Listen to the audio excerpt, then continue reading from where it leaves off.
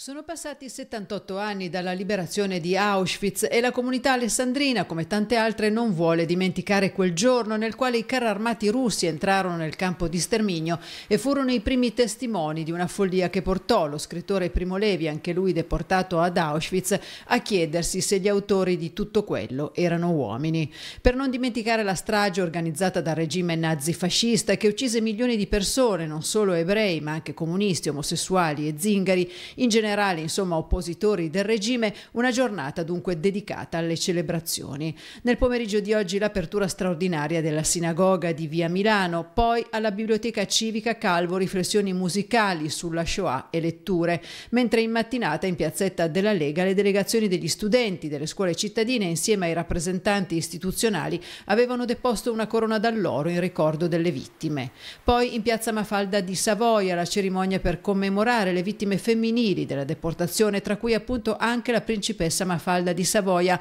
morta nel lager di Buchenwald il 28 agosto del 44. Allo stadio Mocagatta la deposizione di un mazzo di fiori in ricordo di Arpad Weiss, commissario tecnico dell'Alessandria Calcio del 1912, morto ad Auschwitz nel gennaio del 44. In prefettura la cerimonia di consegne delle medaglie concesse dal Presidente della Repubblica ai cittadini deportati ed internati nei lager nazisti destinati al lavoro, ma anche ai familiari deceduti.